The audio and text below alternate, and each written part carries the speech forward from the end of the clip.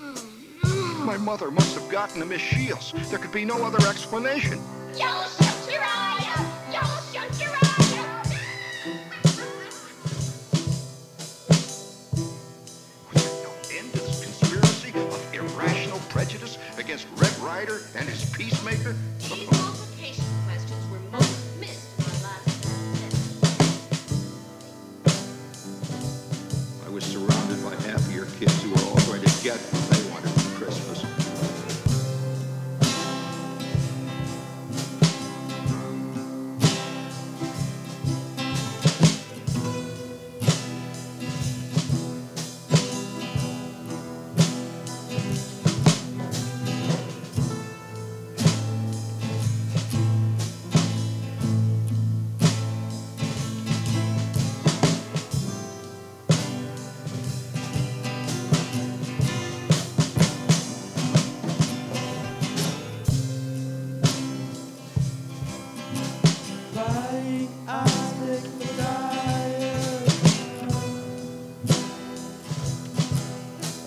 desire.